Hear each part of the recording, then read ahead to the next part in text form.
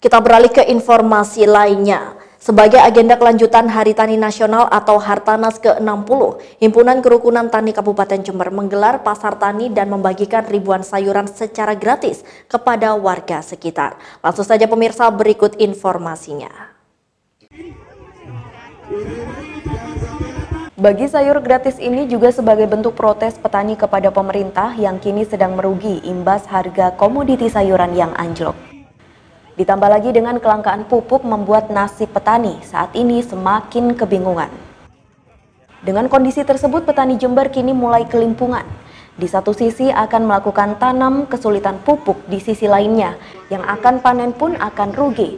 Pasalnya sejumlah harga sayuran di pasaran kini anjlok sehingga tidak menutup biaya selama proses tanam dan perawatan. Namun mau tidak mau petani harus bercocok tanam untuk bertahan hidup.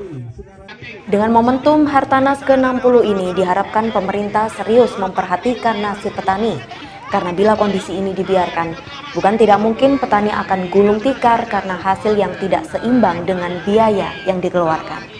Di kegiatan hari ini sebagai bentuk uh, protes dan pesan moral kepada pemerintah bahwa dikala produk pertanian hancur lebur ternyata tidak ada kepedulian dari pemerintah.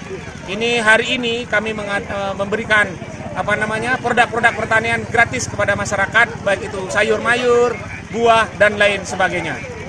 Kita ingin membuka uh, mata pemerintah biar lebih peduli kepada nasib petani di mana apa pada saat komoditi itu hancur lebur hadirnya pemerintah tidak ada sehingga apa tidak hanya pupuk subsidi yang sulit tetapi bagaimana pasar ini tolong kami bantu pada saat harga jatuh.